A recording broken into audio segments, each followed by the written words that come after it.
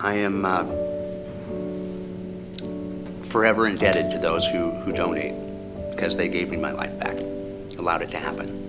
I can't say how grateful I am to this place um, because it's changed my life in more ways than one.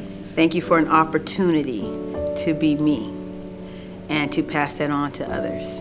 You really changed my life, and I don't know where I would be without this program. It really helped me through more than I could ever express. Thank you from like the bottom of my heart because if I didn't have this, I don't know where I'd be. In so many words, it's hard to it's hard to explain, but I really feel like this place has um, literally saved my life. Thank you. Y'all gave me such a sense of gratefulness of a new outcome on how life can go, long as you believe and you try. Thank you for your commitment to helping people get a, a leg up. Your donation and your giving and your belief in FareStart is critical to the lives of many.